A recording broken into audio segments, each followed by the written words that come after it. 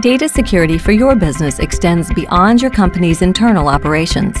It's critical to also keep a watchful eye on the service providers you hire. These might include the businesses you engage to develop your apps, or the companies that process the personal information you collect from your customers.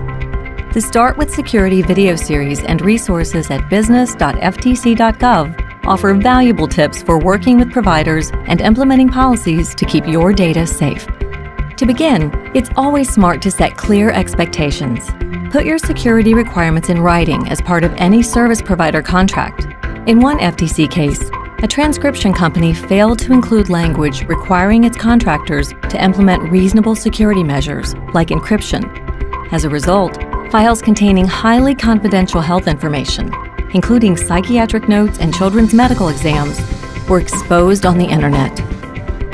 Once you have written service provider requirements in place, verify them by building oversight into your process.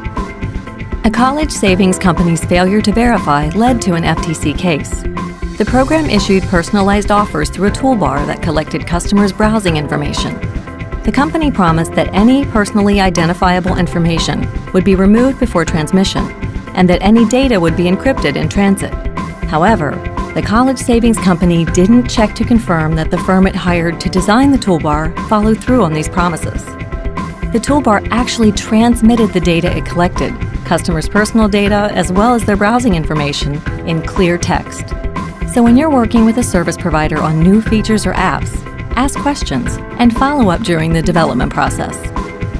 To keep service providers in line with your security standards, set reasonable expectations, select firms that can meet these expectations, and put processes in place to hold them to their word.